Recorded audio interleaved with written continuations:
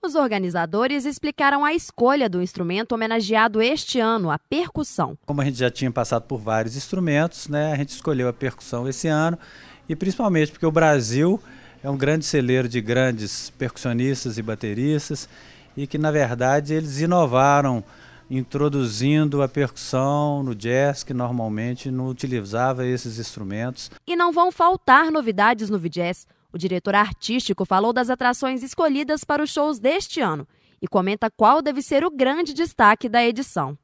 A gente está trazendo grandes artistas, mas é, falando na temática do festival, que é a percussão, para mim a grande atração do VJazz esse ano é o Marco Lobo.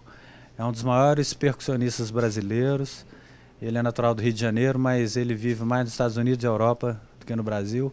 Então, ele, para mim, é a grande atração do festival. Este ano, o Vidias oferece dois dias de shows em Ponte Nova e outros três em Viçosa. Uma estrutura que vai exigir esforço dos organizadores. Com certeza é difícil, porque são duas cidades. Enquanto a gente vai estar tá fazendo o festival na quinta-feira em Ponte Nova, vai estar tá tocando aqui, o pessoal, já, a gente, a gente já vai estar tá montando. Então a gente vai ter duas equipes, uma lá fazendo o evento, outra aqui montando o evento do outro dia. Então é uma logística que tem que ser muito bem arquitetada e muito bem conduzida para sair tudo tudo não 100% perfeito, porque não tem como, mas da melhor maneira possível. Uma das grandes novidades é a utilização do gramado das quatro pilastras, que vai ser palco das apresentações marcadas para o sábado, dia 1 de setembro. As quatro pilastras ela tem aquela vantagem de unir universidade e cidade, porque está ali no tá ali no divisor das duas que, que acaba virando uma coisa só, porque tem que ser assim. E a vantagem das quatro pilastras, que eu acho, meu ver, é mais importante, é essa que vai juntar mais a universidade com a cidade em torno, em, em torno da música. O diretor cultural do evento lembra a importância de se promover o VJazz, que busca democratizar a música instrumental e difundir estilos que costumam ser pouco lembrados no cenário musical local. A questão da música é a questão dela ocupar espaço, seja música comercial, música clássica, seja jazz, seja blues, MPB, quer dizer, o importante é ali ocupando os espaços, as rádios, os festivais.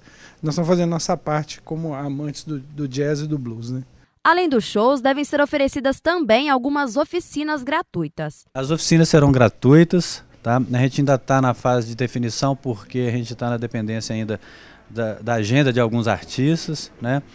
A, Yamaha hoje me ligou, eh, provavelmente vai haver um, uma oficina de produção de shows e além disso de sonorização que vai ser ministrada por técnicos da Yamaha que estão vindo de São Paulo.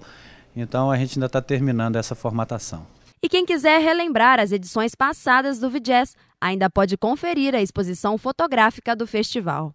As fotos antigas estão na, no Boca do Forno, no Empório Andrade, também vão para as quatro pilastras e a gente agora está preparando as fotos do ano passado. Ainda estamos escolhendo mais um lugar, mas a ideia desse ano não é a exposição ficar num lugar só. A exposição está espalhada por toda a cidade.